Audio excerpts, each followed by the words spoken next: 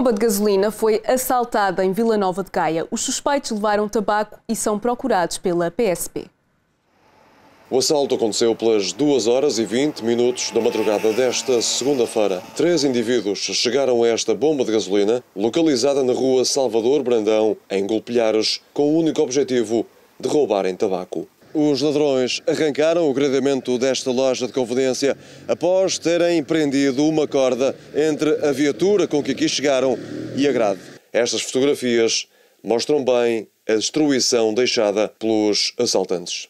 Fugiram deste local em Vila Nova de Gaia na viatura com que aqui tinham chegado. Os ladrões atuaram de rosto tapado. As autoridades não determinaram ainda quantos maços de tabaco foram subtraídos a esta loja de conveniência, nem a quantia em dinheiro equivalente. A Polícia de Segurança Pública foi chamada, investiga o caso e procura os suspeitos.